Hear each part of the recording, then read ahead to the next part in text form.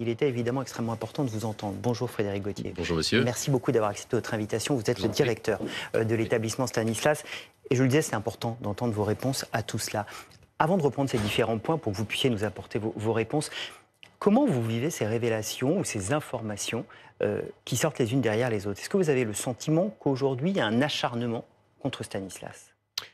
Alors vous avez raison de dire qu'elles sortent les unes après les autres, et peut-être que c'est là ce que vous appelez un, acharnement. De quoi parle-t-on finalement? Le point de départ de cette affaire, c'est une accusation de Mediapart. Une accusation qui reprend les termes que vous venez de rappeler. Stanislas est un établissement où il y a de l'homophobie, c'est un établissement autoritaire, autoritariste et sexiste. Tout cela est repris dans un rapport de l'éducation nationale. Je, vais terminer. je vais terminer. Ça, ce sont les accusations de Mediapart. Face à ces accusations, le, le, plutôt Mediapart a souhaité que, en raison de ces accusations, il y ait une enquête hmm. administrative concernant Stanislas. À l'époque, c'était Monsieur le ministre Papendiaï qui, dans un premier temps, n'a pas voulu de cette enquête. Peut-être, d'ailleurs, en, pressentait-il les conclusions. Je vais revenir aussi sur les conclusions. Et puis, euh, Mediapart, six mois après euh, une forme de silence du ministre Papendiaï, a eu cette formule Monsieur le ministre, depuis six mois, votre silence confine à la lâcheté. Je comprends que le ministre ait été piqué au vif euh, par cette formule et il a voulu montrer qu'il n'avait vis-à-vis de Stan nulle complaisance. Et il a souhaité, et nous l'avons souhaité avec lui, nous l'avons souhaité avec lui, cette euh, inspection euh, de, l'inspection générale, cette enquête ne nous a pas été imposée. Nous l'avons souhaité et nous l'avons fait savoir que nous étions prêts à recevoir les inspecteurs généraux pour une enquête. Cette enquête a eu lieu. Qu'est-ce que c'est qu'une enquête administrative dans un établissement euh, privé ou, dans un autre établissement? C'est deux mois d'enquête. Deux mois d'enquête avec quatre inspecteurs qui sont dans l'établissement et qui ont entendu, vous l'avez sans doute lu dans le rapport, une centaine de personnes, élèves, parents, professeurs, cadres, personnel de service.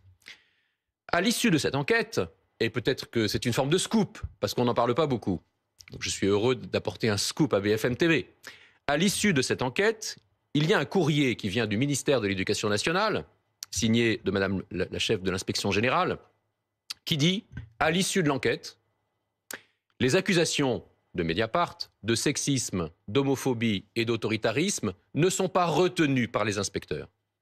Pour ne pas vous retirer votre agrément mais il y a des propos qui posent problème. Non, non, attendez, on, va être clair sur le sujet parce que je pense que dans la confusion médiatique, il faut un petit peu de clarification et je suis heureux que vous m'ayez invité pour clarifier le sujet. Les accusations ne sont pas retenues. Le, texte précise, je, l'ai là, hum. le texte précise qu'il faudrait remonter bien avant, bien avant l'actuelle direction pour qu'il puisse y avoir des faits. Donc ce sont des faits anciens, dit ce courrier d'ailleurs. Ce sont des faits qui ont existé et qui sont anciens. Et qui sont anciens, voilà. Mais depuis que je suis à Stan, le seul cas, qui est, d'ailleurs largement commenté, le seul cas qui a existé, c'est effectivement ce que vous venez de rappeler, hein le cas d'un bénévole qui intervient dans le cadre de l'instruction religieuse et qui a tenu sur les sujets que vous avez euh, évoqués, homosexualité, avortement, des propos qui n'étaient pas acceptables. Et nous lui avons dit que ces propos dépassaient d'ailleurs très largement, dérivaient par rapport même à la position de l'Église sur ce qui a été dit. Bien. Cette personne a été sortie de Cette personne a été rencontrée, sanctionnée, sortie. Elle ne remet plus les pieds dans l'établissement. Voilà le seul fait. Justement, c'est fait, pour qu'on soit très précis. Euh, dans les propos tenus par cette personne que vous mentionnez là, l'avortement, c'est tuer volontairement une personne innocente. L'homosexualité est une maladie. La contraception chimique est dangereuse. Tous ces propos-là, vous les condamnez et ils ne sont pas fidèles aux valeurs de Stan je condamne des propos qui d'ailleurs n'avaient rien à faire dans le programme, puisque ce n'était pas le programme. Ça n'était pas le programme. Donc. Ils sont contre les valeurs de Stan, ces propos? Lesquels ceux que je viens de vous citer, contraception chimique dangereuse, homosexualité est une maladie, l'avortement, c'est tuer volontairement une personne. Ça n'est pas, de cette manière-là que nous abordons les sujets. Oh, je vous pose cette question. Ben, Est-ce que c'est contre les valeurs Je suis en train de vous répondre. Les valeurs de Stan, ce sont les valeurs d'une école catholique. Les valeurs d'une école catholique sont référées à l'Évangile. Bien la, question de Stan, n'est pas une question de savoir si on condamne l'homosexualité ou pas l'homosexualité. Sauf que c'est un délit. L'homosexualité aujourd'hui. Ce n'est pas un délit, euh, l'homosexualité Non, la condamnation et dire que l'homosexualité est une maladie. J'entends bien. C'est bien pour ça que ces propos ne sont pas acceptables. Voilà. Donc ils ne sont pas fidèles à vos valeurs. Ils ne sont pas fidèles à l'obligation légale, d'ailleurs surtout. Mais vous les partagez sur le fond Vous venez de la rappeler. Vous les partagez sur le fond Mais sur le fond, c'est pas la question. Sur le fond, vous êtes le directeur d'un établissement. J'entends bien. Je suis le directeur d'un établissement catholique. Et donc, j'ai une double légitimité dont il faut que je rende compte. La première légitimité, c'est du côté de l'Église catholique, puisque je suis un établissement catholique. La deuxième légitimité, c'est du côté de la République, puisque je, je suis un établissement associé à l'État par contrat du côté de la République. J'ai donc deux légitimités à tenir. Je suppose que, connaissant l'histoire de France, vous savez que les, relations entre euh, l'Église et entre l'État n'ont jamais été simples. Or, un établissement catholique associé à l'État par contrat a cette double légitimité. Est-elle simple? Y a-t-il du côté de l'Église des, des, analyses, des convictions qui ne rejoignent pas totalement euh, l'analyse et les convictions, ou même... Sur l'homosexualité, euh, le pape, il n'y a pas si longtemps, était pour l'union des homosexuels. Pas le mariage, une union. Euh, est-ce que dans ce cas-là, vous pouvez cautionner le fait de dire que l'homosexualité est une maladie? Mais Non, mais bien sûr, je ne cautionne pas. Je, ne dis pas que l'homosexualité est une maladie, évidemment. C'est d'ailleurs en raison de ce terme, encore une fois, que nous avons rencontré cette personne et que nous l'avons exclue. Y a-t-il des élèves homosexuels à Stan? Vraisemblablement. Vraisemblablement. D'ailleurs, il m'a été rapporté qu'une élève a dit Mais moi, je, suis lesbienne, j'ai jamais eu de problème, euh, euh, ni avec les aumôniers, ni avec la direction. Et c'est la loi. Et c'est la loi. Mais très bien, très bien. Donc, ce, qui nous importe, c'est pas de traiter de l'homosexualité.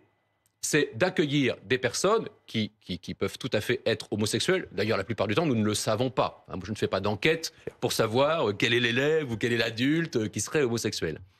Mais si nous avons des élèves ou des adultes homosexuels euh, dans l'établissement, et nous en avons, il faut qu'ils se sentent accueillis. Et c'est aussi le sens de la démarche du pape François Souvenez-vous de cette phrase, je crois, prononcée dans un avion. Qui suis-je pour juger? Moi, je n'ai pas à juger de, l'homosexualité en tant que telle, en tout cas comme directeur d'école, mais j'ai à accueillir les personnes. Je pense que je rejoins là ce, que dit le Saint-Père de ce sujet. Sur les cours de catéchisme, on a beaucoup dit qu'ils étaient imposés à tout le monde dans la scolarité. Est-ce vrai ou faux? Le, terme imposé n'est pas le bon. là aussi euh, à, la Fait. Le terme imposé n'est pas le bon. Et pour répondre à cette question, il faut le rentrer dans des distinctions qui parfois paraissent un peu trop subtiles à, certains journalistes, mais dans lesquelles, si on veut comprendre, il faut rentrer. Qu'est-ce que c'est que la catéchèse au sens strict, ou ce qu'on appelait autrefois, en tout cas ma génération, le catéchisme? C'est l'enseignement des vérités de la foi, euh, ce, qu'est la foi chrétienne, ce, qu'est le fait de croire en Dieu, à des élèves qui, euh, qui sont dans un parcours catéchétique, des catéchumènes, et qui veulent s'avancer vers le baptême, euh, vers la confirmation, vers la première communion et vers les sacrements. Dans ce cas-là, lorsque des élèves veulent, euh, euh, dans, une démarche d'adhésion à la foi, aller par exemple vers les sacrements, il y a un parcours spécifique qui n'est pas obligatoire. C'est eux qui le demandent puisqu'ils veulent aller vers ces sacrements et y être préparés à travers un enseignement qu'on appelle stricto sensu de la catéchèse. Qu'est-ce que nous faisons, nous, qui sommes face à des élèves qui sont euh, chrétiens, catholiques, orthodoxes, protestants, juifs, animistes, bouddhistes, musulmans? Nous savons que dans Stanislas, il y a cette diversité. Certes, dans des proportions différentes, mais il y a cette diversité. À partir du moment où nous sommes face à un public qui a cette diversité, nous ne pouvons pas faire des cours dits de catéchèse comme si nous nous adressions à des élèves qui adhéraient déjà, qui étaient déjà croyants. Hmm. Est-ce que c'est clair? Oui. Bien. Mais pour autant, en même temps, si je puis dire, nous ne renonçons pas au fait, ça paraît normal dans une école catholique, d'exposer ce qu'est la foi catholique. Je le fais un peu d'ailleurs, et je le redis pour les, téléspectateurs, dans l'esprit de Debré, non pas Michel Debré, qui est connu par la loi de 59, mais de Régis Debré, qui parlait, à juste titre, je pense, de l'inculture d'une certaine jeunesse. Juste pour que je comprenne bien. Sur les questions religieuses. C'est qu'il y a des cours de culture religieuse, mais pas des cours de religion, de catéchisme. Culture religieuse, c'est l'exposé de ce que dit l'Église, de, ce qu'est la foi de l'Église. que l'Église De ce que sont les évangiles, par exemple, de ce que sont les évangiles, de, de, de, ce Ça ressemble beaucoup à du catéchisme, quand même. Non, le catéchisme s'adresse à quelqu'un qui. Mais on parle des autres religions? On peut tout à, fait parler, des autres, tout à fait parler des autres religions. Enfin, s'il y a une question sur n'importe quelle autre religion, mais nous, nous ne sommes pas spécialistes de l'islam non plus. Donc, ce que nous connaissons, c'est la foi chrétienne.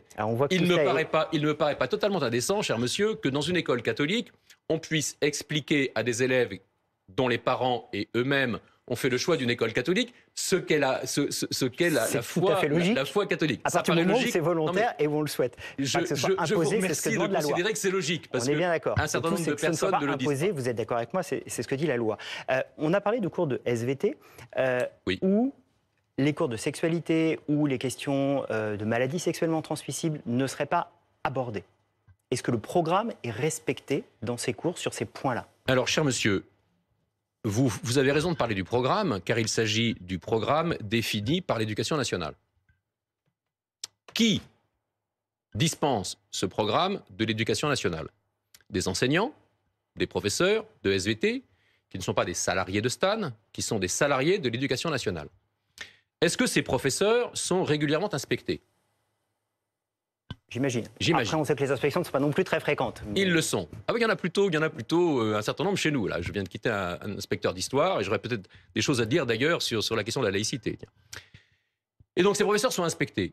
Il n'y a eu jamais aucune remontée, aucune remontée d'un inspecteur qui euh, est venu témoigner que ces, ces programmes n'étaient pas abordés. Et d'ailleurs, Lorsque j'ai réuni l'ensemble des personnels et des professeurs de Stanislas dans l'amphithéâtre pour faire un petit point d'étape et un point de situation de, là où nous en étions par rapport à ces accusations, un des professeurs est intervenu pour dire Monsieur, nous souhaitions vous dire que nous ne nous reconnaissons pas dans les accusations qui sont euh, formulées nous ne nous reconnaissons pas. Donc vous contestez le fait que le programme ne soit pas respecté dans ces cours Le programme est fait. le programme est fait, c'est ce que vous nous dites. Euh, un dernier point, la mairie de Paris a décidé de suspendre ses subventions euh, à votre égard. Deux euh, sénateurs communistes ont saisi la justice. Oui. Qu'est-ce que vous leur répondez? Venez et voyez. Je leur réponds une chose. Si, si le rapport de l'inspection générale avait conclu à une réalité de stade qui était homophobe, sexiste et autoritaire, je serais le premier à réagir. Je serais le premier à réagir. Et je comprendrais leur réaction. Quand vous avez un document qui vient du ministère de l'Éducation nationale, signé par la doyenne de l'inspection générale, et qui dit, après deux mois d'enquête, les inspecteurs ne reconnaissent pas, ne confirment pas les propos, ne confirme pas les propos. C'est de la politique tout ça. Y a-t-il, y a-t-il, c'est vous qui le dites. Non, je vous pose y a-t-il, bah, je ne suis pas spécialiste de la politique. Il y a une entreprise politique de la mairie de Paris et de possible. C'est peut-être. En tout cas, il y a une posture politique. Mais comment voulez-vous, comment voulez-vous accepter le fait qu'on nous retire ou non suspende les subventions alors même qu'il n'y a pas de condamnation? Une dernière question, parce qu'on ne l'a pas évoqué, et c'est l'actualité de ce matin, Mediapart qui révèle que vous auriez un système de contournement de Parcoursup. Qu'est-ce que vous répondez sur ce point? C'est important qu'on Eh bien, je vous remercie de me poser la question, parce que je vois que ça fait le buzz en ce moment, et je pense qu'il faut euh, remettre les choses dans leur proportion et dans leur réalité. Que se passe-t-il? Nous avons à peu près tous les ans 80, 85 élèves qui sont nos élèves de terminale et qui veulent rester chez nous en classe préparatoire. Nous connaissons leur dossier, ils ont envie de venir chez nous en classe préparatoire, et donc jusqu'au conseil de classe du deuxième trimestre, ils présentent leur dossier et ils présentent leur demande. Et ils nous demandent notre avis sur leur projet de, venir chez nous. Jusqu'à présent, et c'est ce qui est souligné, nous leur donnions un avis. Voilà, un avis en disant, mais oui, si, euh, compte tenu de votre dossier, compte tenu de ce que nous connaissons de votre scolarité, si vous voulez venir euh, euh, en classe préparatoire chez nous à Stanislas, nous donnons un avis favorable. Et ensuite, ils suivent la procédure, et ils eux-mêmes ne décident, et, d'ailleurs c'est une obligation de la plateforme Parcoursup, de décider par eux-mêmes, en allant sur la plateforme Parcoursup, du choix qu'ils font. Entre le moment où nous leur donnons un avis favorable et le moment où ils décident, ils peuvent décider deux choses. Soit je décide de ne retenir que Stan, et je sais que j'ai un avis favorable, et donc je ne mets qu'un vœu, puisque j'ai un avis favorable de Stan, et je ne veux qu'un vœu. Donc, OK, nous faisons affaire. Mais si je veux aller à Henri IV, à Ginette, à Louis le hmm. Grand ou dans d'autres prépas, j'ai parfaitement le droit de le faire. Est-ce qu'on peut dire que c'est un avantage pour ceux qui sont déjà à Stan? C'est logique, vous les connaissez. Euh, en tout cas, c'est un avantage, c'est pas un avantage. Et puis, sur, quelle proportion cela joue? Nous avons 350 élèves en première année. Nous avons 80 élèves qui veulent euh, euh, venir chez nous. Il y a largement de la place pour tous les autres élèves qui veulent postuler. Donc, il n'y a pas de délit d'initié, il n'y a pas d'empêchement d'être ouvert à la diversité d'autres élèves qui veulent postuler. D'une certaine manière, personne n'est lésé. S'il faut faire autrement, nous ferons autrement. Mais nous n'avons pas le sentiment ni de léser les élèves qui viennent de, l'extérieur, ni de tromper nos propres élèves. Merci beaucoup. Merci Frédéric Gauthier d'être venu sur le plateau du Live BFM ce matin. C'est important de vous entendre et d'entendre toutes je vos réponses. Je crois que c'était important pour établir les choses. Merci, Merci de m'avoir invité. D'être venu. Merci à vous.